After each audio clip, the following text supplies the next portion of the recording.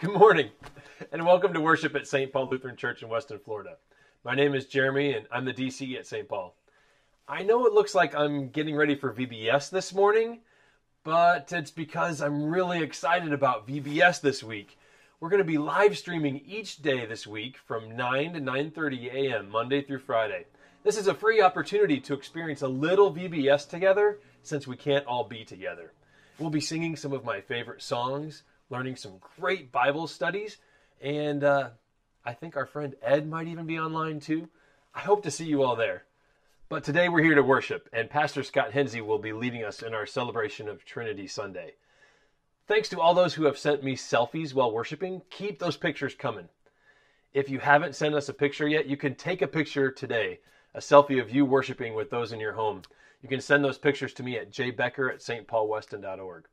Pastor Scott's Bible class will premiere at 9:45 today after worship. There's a link to that video in the comments of this video, or you can always access the Bible studies on our Bible study page at www.stpaulweston.com/bible study. We would love to know who's worshiping with us. So, please take a moment to write in the chat or in the comments section of this video on YouTube or you can use the QR code here to go to stpaulweston.com slash card to fill out the digital connection card online. Phase one opening for us at St. Paul starts this week with short communion services outside in the breezeway. There are times available this Tuesday, June 9th in the morning and evening. You can access that sign up by using the QR code shown here, or you can go to our website. In our prayers today, Melinda Batani asked for prayers for her friends Carol and Karen, who are having health issues. The Biondo family requests prayers for Catherine, who's an eight year old girl who was hit by a car in Tallahassee. She's in ICU with brain swelling. Catherine is the goddaughter of their son's girlfriend. Ann and Joe Crockett asked for prayers for friend Kim, who is battling cancer and making some difficult decisions over the next few weeks. Aaron Clemmer asked for prayers for a close friend Jonathan, who is battling extremely aggressive brain tumor. We pray for Miranda Thomas, daughter of Tom and Cynthia Thomas. She will be having surgery at Nicklaus Children's Hospital this week and is expected to be in the hospital recovering for about five days. Chris Pasco requests prayers for her sister in law, Susan, who is recovering after being hospitalized. We pray for Bob Brown as he is being beginning radiation treatments. We continue to pray for hope for those who have experienced economic instability due to COVID 19. We pray for the family of Chris Niedebitz, friend of the Henseys, who passed away last Wednesday. Chris was father to six year old Mark, eight year old Lily, husband to wife Lauren, and pastor at Emmanuel Lutheran Church in Giddings, Texas.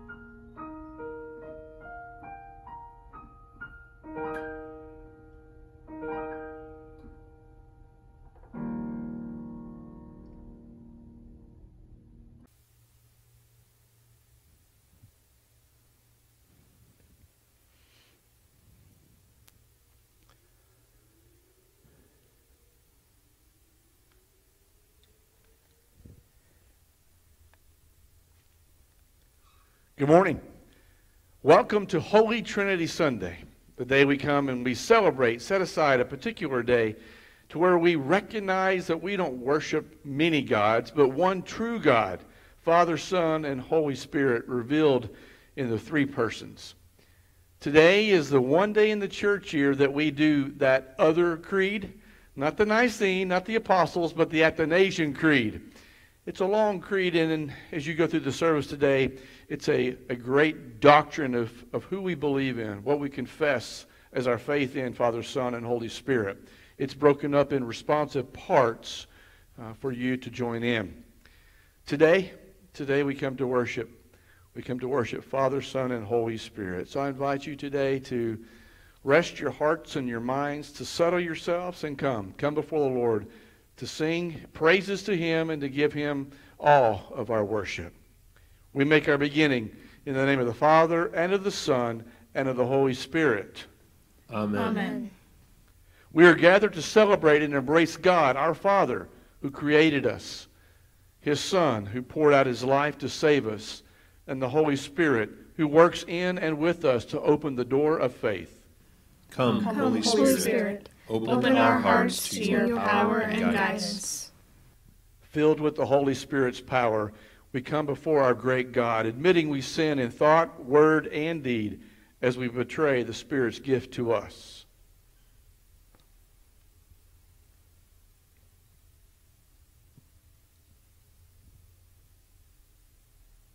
Father, We confess that many times we live spiritually empty lives and ignore your Spirit's power.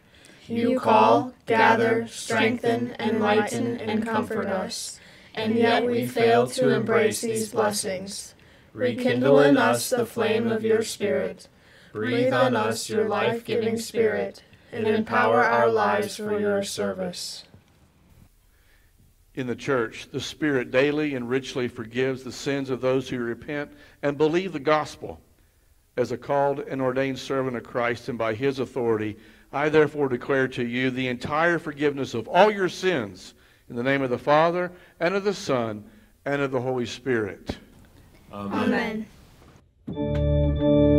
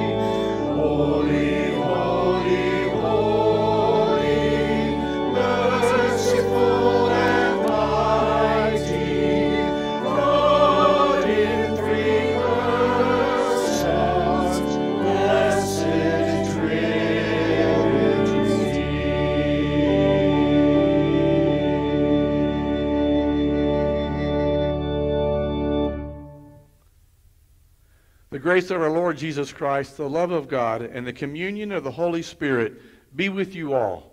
And also, and also with, with you. Let us pray. Almighty and everlasting God, you have given us grace to acknowledge the glory of the eternal Trinity by the confession of a true faith and to worship the unity and the power of the divine majesty. Keep us steadfast in this faith and defend us from all adversities. For you, O Father, Son, and Holy Spirit, live and reign one God, now and forever. Amen. Our Old Testament reading is from Genesis chapter 1. In the beginning, God created the heavens and the earth. Now the earth was without form and devoid, and darkness was over the face of the deep. And the Spirit of God was hovering over the face of the waters. And God said, Let there be light. And there was light. And God saw that the light was good. And God separated the light from the darkness. God called the light day, and the darkness he called night. And there was evening, and there was morning, the first day. And God said, Let there be an expanse in the midst of the waters, and let it separate the waters from the waters. And God made the expanse, and separated the waters that were under the expanse from the waters that were above the expanse. And it was so. And God called the expanse heaven. And there was evening, and there was morning, the second day. And God said, Let the waters under the heavens be gathered together into one place, and let the dry land appear. And it was so. God called the dry land earth, and the waters that were gathered together he called seas. And God saw that it was good. And God said, Let the earth sprout vegetation plants yielding seed, and fruit trees bearing fruit, in which is their seed, each according to its kind, and on the earth. And it was so. The earth brought forth vegetation, plants yielding seed according to their own kinds, and trees bearing fruit, in which is their seed, each according to its kind. And God saw that it was good.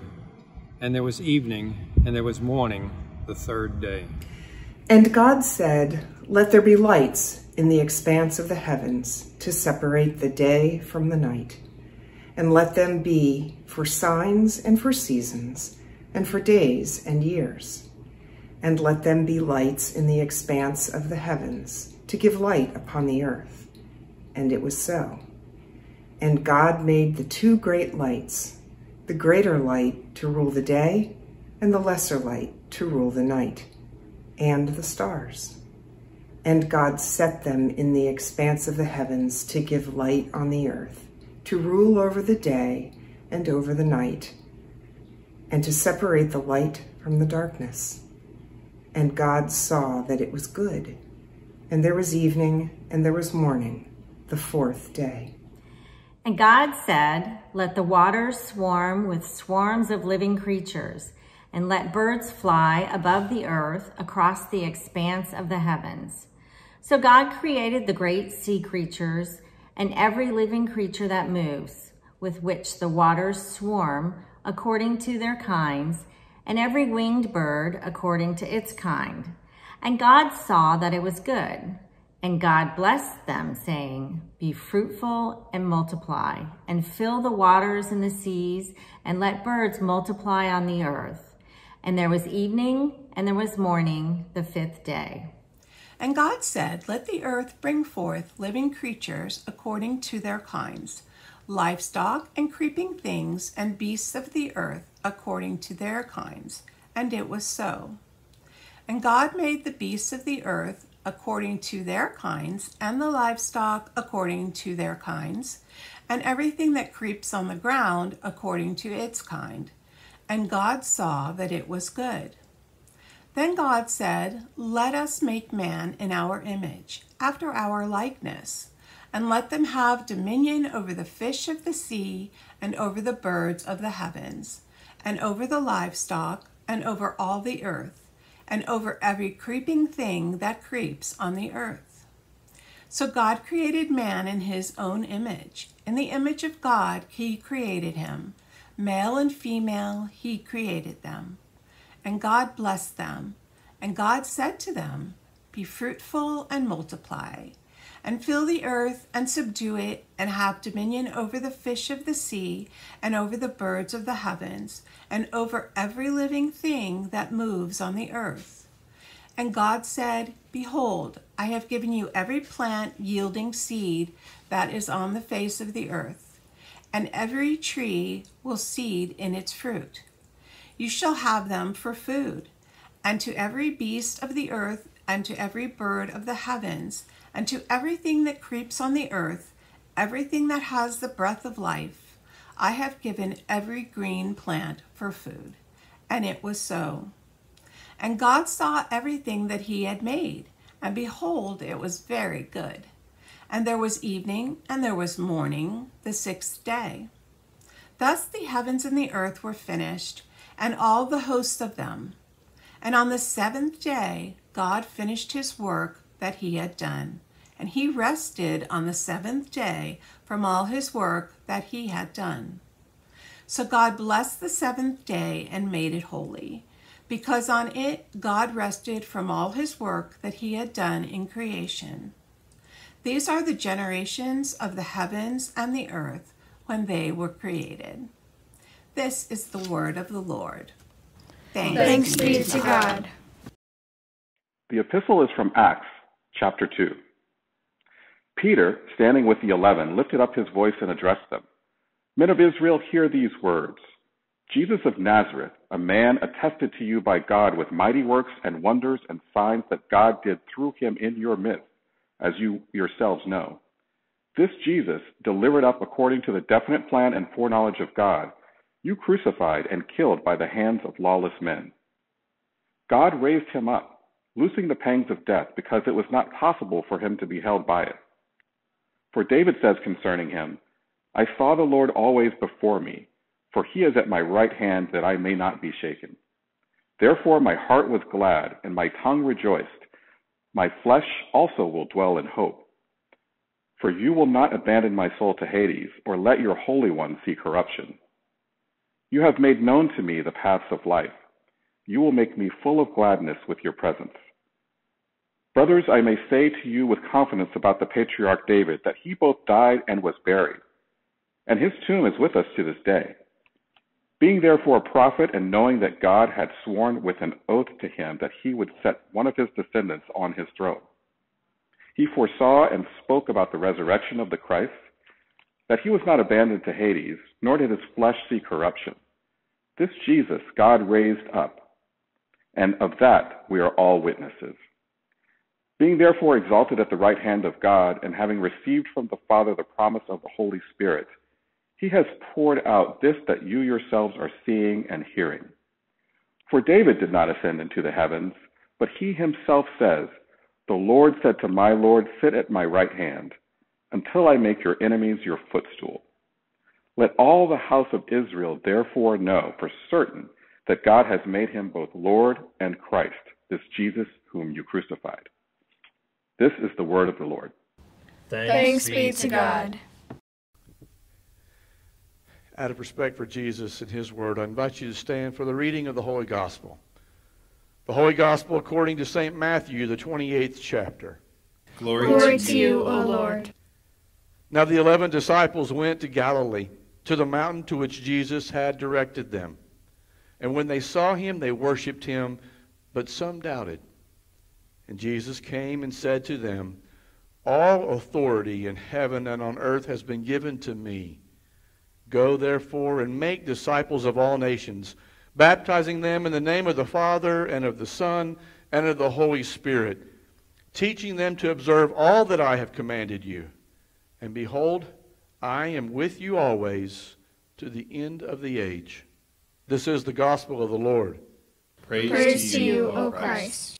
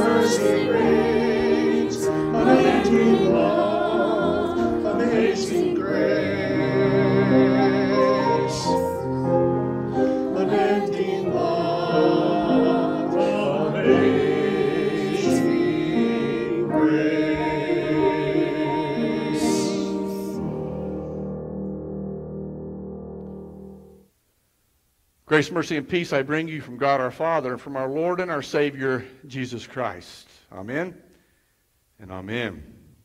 Jesus said, All authority in heaven and on earth has been given to me. Therefore, go and make disciples. You know, there's a difference between power and authority. If you have authority but no power, your authority is absolutely useless. Let me explain it like this. A government man was taking geological readings for the Department of the Interior. And he approached one farmer who he was supposed to survey, and he said, I have been authorized by the United States government to go out into your pasture and to take some readings. Do you mind if I do that? To which this farmer said, You can't go out in my pasture. Well, this government man became a little perturbed and he brought out a piece of paper and he showed him that it was signed by the Secretary of the Interior and it gave him the authority to take those readings any way that he chose.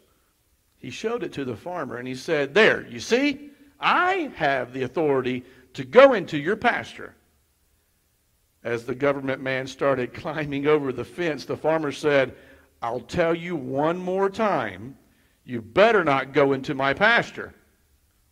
The government man arrived in the middle of the pasture, sneering and laughing as he started setting up his equipment when all of a sudden the ground started to shake around him. He looked up and he saw a very big, mean bull running toward him with his head down. The government man forgot all his equipment. He started running towards the fence just as fast as he could, and he cried out to the farmer, Help me! Help me! The farmer said, Hey, why don't you show him your papers? he had the authority, but he didn't have the power to be in that field. Jesus has clearly given us both the authority and the power in the Holy Spirit. All authority, he says, all authority in heaven and on earth, not only in the past, but also in the future, not only in eternity, but in the nasty, virus filled, protest marching world right now. Jesus is in charge today. And therefore, his great commission to the church, to you and to me, is absolutely valid. We are to go. So, in the words of Martin Luther, what does this mean? What exactly is the Great Commission of the church? If we read in chapter 28, verse 19, we read that Jesus says, Go therefore and make disciples of all nations, baptizing them in the name of the Father and the Son and of the Holy Spirit. I'm telling you that if Jesus is not raised from the dead, if he really didn't live and die and become resurrected, then this commission is absolutely meaningless. The very meaning of the word commission is to be authorized to perform certain duties or to take certain powers. And what Jesus did in his resurrection is absolutely that power. And it's been given to him through all authority. And he has given us marching orders. It's found all throughout God's Word. So this morning, I want us to look at the four elements that come with this Great Commission that Jesus gives us. One, go. Two, make disciples. Three, baptize. And four, teach them to obey. So go. In the Greek text, this participle go carries the power of a command. To go means that we're not supposed to wait for people to come to us. Hello. we're to go to them. Jesus wants his disciples, you and me, to be on the offense, not on the defense. And this going is all about how we make disciples. In our weekly adult Bible study, we are journeying our way through the book of Acts. From the beginning of the book to the very end, the disciples went. They go to the very ends of the earth, to the people and the places, to preach the gospel. In any language, go means the opposite of stay. It doesn't mean don't go, it means get up and go. Don't stay. We're to make disciples wherever God has placed us. And it's not just the responsibility of me, your pastor. It's not just the responsibility of Jeremy, our DCE, who can do everything. Thank you for the opportunity to be able to worship with you today through the gifting of his going for us. It's not provided in going just through the staff or the leaders, but for every single one of us. We are the go between the living God and the dying people. We are the go. Our commission is literally to preach the gospel to those we come in contact with. It's our sinful self that says, I can't go. It's our sinful self that says, I'm no good at it. It's our sinful self that says, I don't know how. It's our sinful self that says, I'm too old or I'm too young. It's our sinful self that says, I don't know what to say or I don't know anyone to share the good news with. Stop with the I can'ts and start with simply believing in God and going because He can. Do you know what that looks like? That's the lady that's behind the counter at the Publix that you've seen a million times before, but never really ever addressed her. But now you can simply say, God bless you, and just see where the conversation takes you. Believing in God and going. Do you know what that looks like? That might be the person that you come in contact with at work that you haven't seen in over two months because you've been socially distanced from them. And then you do what you've always done. You ask the question, How are you? And instead of the reply that you've heard for the last five years, they tell you, I'm not good. And then you spend some time listening and maybe praying with them, believing in God and going. Do you know what that looks like? That means you disciple by teaching your children and your family and your friends what Paul was talking about in Galatians chapter 3 verse 28 when he said, "There is neither Jew nor Greek, there is neither slave nor free, there is no male and female, for you are all one in Jesus Christ, not black, not white, but one in Christ." Hatred and division and racism has to end. You see, it's really simple. To make a disciple means you have to know someone. And to know someone means you have to actually talk to someone. And to talk to someone means that you know that you not only have the authority and the power to do so, but the command of God to do so. So let's start building some relationships. We are commissioned to go. If we're not allowed to go physically right now and preach the gospel, then we go online right now and preach the gospel. We go, we go. That's the first element of this commission of the church to go. And the second is this is to make disciples. Make disciples is the key verb in this imperative commission that we've been given. Who is a disciple? Jesus defines exactly who that is in Luke chapter 9, verses 23 and 24, when he says, If anyone would come after me, he must deny himself and take up his cross daily and follow me. As Luther says, what does this mean? It means that a disciple is one who is willing to take up his cross, to deny himself, to forgive others, and follow Jesus no matter what that might be or no matter where that might lead you. Bearing our cross daily means that we learn to forgive. Dear God, dear God, please forgive us and our hatred in this country. Denying ourselves means we des- deny our selfish desires and we learn to be content with what we have. Following Jesus means we go to people and places we aren't even aware of and become the hands and feet of Christ to the people He's already ordained us and arranged for us to meet. There are no coincidences in life. Don't ever forget that. They are just divine appointments of God. So, are we making disciples of this nature in our church? Are we the ones who have learned to forgive our enemies? Are we the ones who have learned to conquer our selfishness? The ones who follow Jesus wherever he may lead? I pray we are, and we continue to do so. The third element of this commission is to baptize. Baptize literally brings cleansing from sin and from its power. Baptism literally brings faith through the Holy Spirit. Baptism literally brings life to dead people and forgiveness of sins through a resurrected Christ. A Holy Spirit filled life in Christ. You see, baptism points us back to the work of God and forward to the life of faith. To go. To go. To what? To go. The final portion of this command is found in verse 20, and that is teaching the disciples to observe all that Jesus commanded.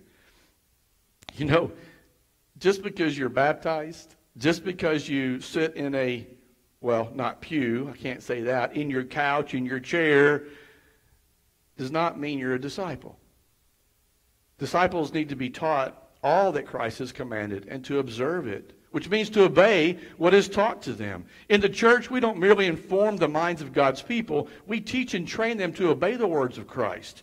When we become disciples, we who are baptized, our life is meant to be different. Paul told us in 2 Corinthians 5, verse 17, therefore, if anyone is in Christ, he is a new creation. The old has passed away, and behold, the new has come. It's right there. You see it? It's hanging on the banner in the back of our church sanctuary. How serious is St. Paul Weston about the Great Commission? The Great commission and command of God is not an option, it is a commandment. It's been said the church doesn't change the world by making converts, but by making disciples. That is our call. Working it out through the Holy Spirit's power that's within us as we make disciples. It's the Holy Spirit who calls. It's the Holy Spirit who gathers, enlightens, and sanctifies the whole church and keeps it with Jesus Christ in the one true faith. The church is a place where we daily experience the forgiveness of sins and where we are discipled to go and make disciples who make disciples who make disciples. People who live out their faith in Christ and the joy of the risen Christ. That's who we are called to be. We are called to fulfill the commission of the church. May St. Paul continue in the ministry, in the mission of making more and better disciples for Christ. The commission of the church is a great command that carries a great, great promise. And the promise is what Jesus said to you and to me in verse 20. And I am with you always, he said, to the end of the age. He is in charge of the universe. Jesus is the one who empowers his church with the Holy Spirit to fulfill this commission to go, to go, to go make disciples of all nations, baptizing them in the name of the Father, Son, and Holy Spirit, teaching them to observe all that I have commanded. In Jesus' name and for his sake. Amen. Now may the peace that passes all of our understanding guard our hearts and minds and keep them rooted in Jesus Christ, our risen Lord. Amen.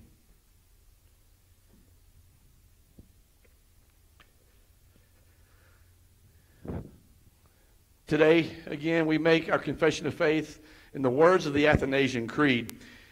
If this is new to you, let me uh, give you some brief history and the understanding of some of the terminology. When we make our confession and we say the Catholic faith, the word Catholic is universal. It means one universal church. It's not talking about a denomination as the Catholic Church, it's talking about a universal church. Let's come together and let's confess our faith today. Today we are marveling at the grace of God and paying attention to us and saving us, although we are seemingly insignificant part of his creation. The grace of God is also apparent as the church has sought to confess the witness of Scripture. As we cannot comprehend the vastness of space, so we cannot understand God's nature as three persons in one Godhead. As you profess truths about our majestic God, I will follow with the offsetting realities that also must be true. We cannot explain God. We can only confess our faith within the limits of human understanding. Let's confess our faith in the Athanasian Creed. Whoever desires to be saved must, above all, hold the Catholic faith. Whoever does not keep it whole and undefiled will, without doubt, perish eternally. And the Catholic faith is this that we worship one God in Trinity and Trinity in unity. Neither confusing the persons nor dividing the substance. For the Father is one person, the Son is another, and the Holy Spirit is another. But the Godhead of the Father and of the Son and of the Holy Spirit is one. The glory equal, the majesty co eternal such as the Father is, such is the Son, and such is the Holy Spirit. The Father uncreated, the Son uncreated, the Holy Spirit uncreated. The Father infinite, the Son infinite, the Holy Spirit infinite. The Father eternal, the Son eternal, the Holy Spirit eternal. And yet, there are not three eternals, but one eternal just as there are not three uncreated or three infinites, but one uncreated and one infinite. In the same way, the Father is Almighty, the Son Almighty, the Holy Spirit Almighty. And yet, there are not three Almighties, but one Almighty. So the Father is God, the Son is God, the Holy Spirit is God, and yet there are not three gods, but one God. So the Father is Lord, the Son is Lord, the Holy Spirit is Lord. And yet, there are not three Lords, but one Lord. Just as we are compelled by the Christian truth to acknowledge each distinct person as God and Lord, so also are we prohibited by the Catholic religion to say that there are three gods or lords. The Father is not made, nor created, nor begotten by anyone. The Son is neither made nor created, but begotten of the Father alone. The Holy Spirit is of the Father and of the Son, neither made nor created nor begotten, but proceeding. Thus, there is one Father, not three fathers, one Son, not three sons, one Holy Spirit, not three Holy Spirits. And in this Trinity, none is before or after another. None is greater or less than another, but the whole three persons are co eternal with each other and co equal, so that in all things, as has been stated above, the Trinity in unity and unity in Trinity is to be worshiped. Therefore, whoever desires to be saved must think thus about the Trinity. But it is also necessary for everlasting salvation that one faithfully believe the incarnation of our Lord Jesus Christ Therefore, it is the right faith to believe and confess that our Lord Jesus Christ, the Son of God, is at the same time both God and man. He is God, begotten from the substance of the Father before all ages, and he is man, born from the substance of his mother in this age, perfect God and perfect man, composed of a rational soul and human flesh, equal to the Father with respect to his divinity, less than the Father with respect to his humanity. Although he is God and man, he is not two, but one Christ. One, however, not by the conversion of the divinity into flesh, but by the assumption of the humanity into God. One altogether, not by confusion of substance, but by unity of person. For as the rational soul and flesh is one man, so God and man is one Christ. Who suffered for our salvation, descended into hell, rose again the third day from the dead, ascended into heaven, and is seated at the right hand of the Father, God Almighty from whence he will come to judge the living and the dead. At his coming, all people will rise again with their bodies and give an account concerning their own deeds. And those who have done good will enter into eternal life, and those who have done evil into eternal fire. This is the Catholic faith. Whoever does not believe it faithfully and firmly cannot be saved. We come before the Lord at this time to lift up our prayer concerns for the church and the prayers of the church after each petition, I will say, Lord, in your mercy, and your response will be, Hear our prayer. Let us pray for the whole people of God in Christ Jesus and for all people according to their needs.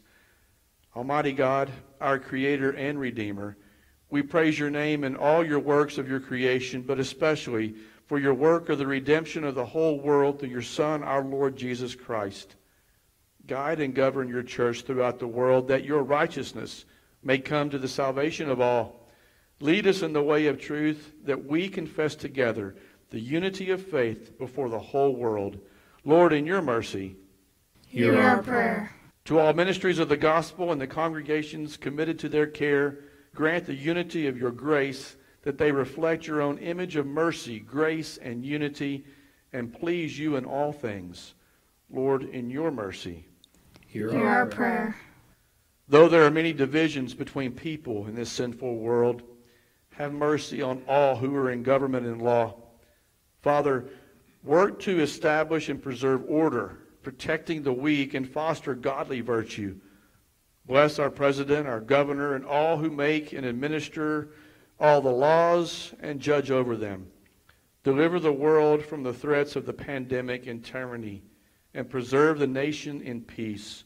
Lord, in your mercy, Hear our, Hear our prayer. Heavenly Father, we thank you for your servants that commit to serving the children of this church, St. Paul. Today we lift up all those teachers Melinda, Jody, Mary, Liz, Cheryl, Katrina, Claire, Lisa, Dorothy, Lola, Natalia, Wendy, and Karen. Father, we thank you for the gifts you've instilled in them to teach your children. Continue to bless them and bless the fruits of their labor as they teach and train disciples. Lord, in your mercy, hear, hear our, prayer. prayer. Help us by our reconciliation with you also to be reconciled with one another, that forgiveness and love prevail in our marriages, in our families, in our neighborhoods, and especially as faithful disciples of Jesus in the church and our daily lives. Lord, in your mercy, hear, hear our, our prayer. prayer. God of mercy, you have revealed your will that all should come to the knowledge of truth and be saved.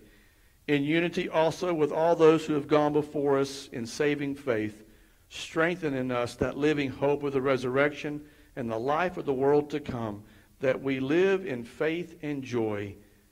To you, O God, Father, Son, and Holy Spirit, be all honor and glory now and forever. Amen. At this time, we come before our Lord to give back what He has already given to us in our tithes and our offering. We thank you for continuing to make your contributions and your tithe to the church. If you're mailing in your envelopes, continue to do so. You can also sign up in our new Streamline online giving, and there's a video that can show you more about that. Let's go before the Lord and thank Him for the gifts He's given to us. Let us pray. Blessed are you, O God, ruler of heaven and earth. Day by day you shower us with blessings.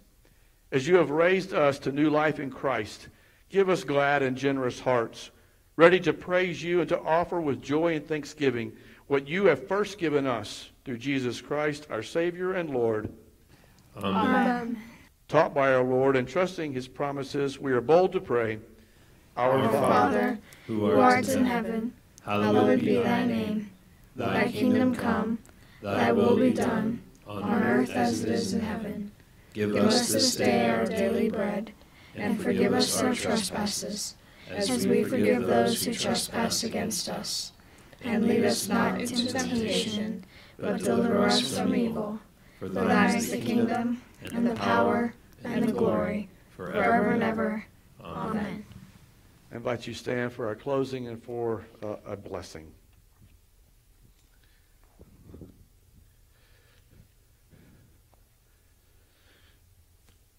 Well, you ready?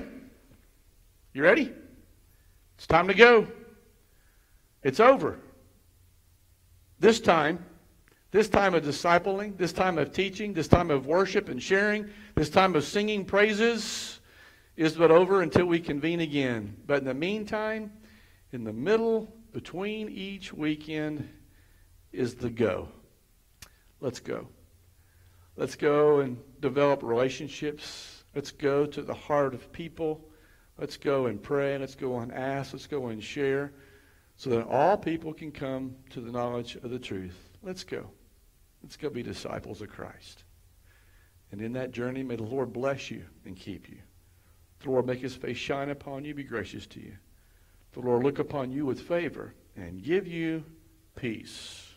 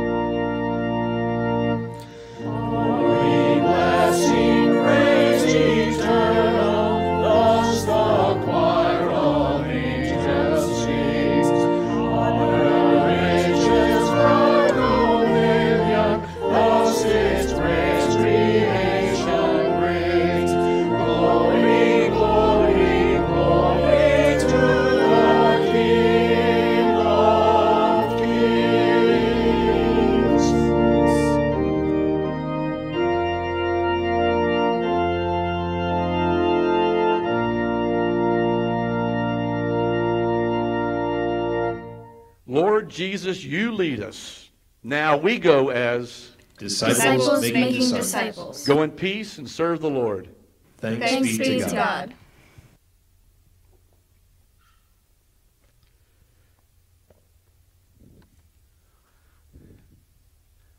I'd like to thank you for worshiping with us today at St. Paul. Our hope and prayer is that you had a chance today to see Christ in a very personal and a very real way. If you're struggling right now, if you have friends or family or know someone that's in need of prayer and you'd like to go before the Lord, please call us. We'd like to know. You can either send us an email to the church office or give us a call. we uh, want to be here for you. We want to pray for you. And the joys that we have, we celebrate the joys of a new opportunity for us to come together and to celebrate the sacrament. More information is going to be coming out about that, and I'm really excited to be able to come together again to celebrate around the sacrament of our Lord's Supper. I invite you to come and sign up to be involved in that. And also look for more information as we begin to come together in our phasing of a congregation coming together here at St. Paul to worship. Have a blessed week, and may God continue to guide you as you go and make disciples. Take care.